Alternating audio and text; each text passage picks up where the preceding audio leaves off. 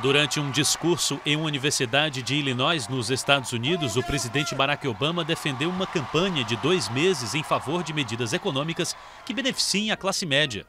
Mesmo com uma possível rejeição dos republicanos, que são maioria no Congresso americano, Obama pretende facilitar a compra de imóveis, melhorar a assistência à saúde e à formação profissional, entre outras propostas.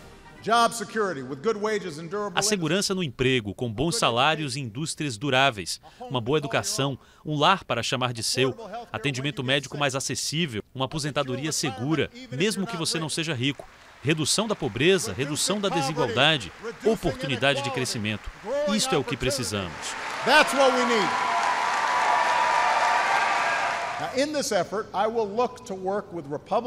Agora, neste esforço, vou procurar trabalhar com os republicanos, assim como os democratas. E eu sinceramente acredito que existem membros de ambos os partidos que entendem neste momento o que está em jogo. E vou receber ideias de qualquer pessoa do outro lado político. Mas só não vou permitir que o impasse, a falta de ação, a indiferença atrapalhe o nosso caminho.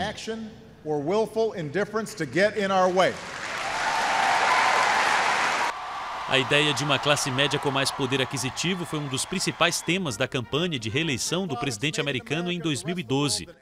A previsão é de que Obama faça novos discursos sobre este assunto no estado da Flórida nesta quinta-feira.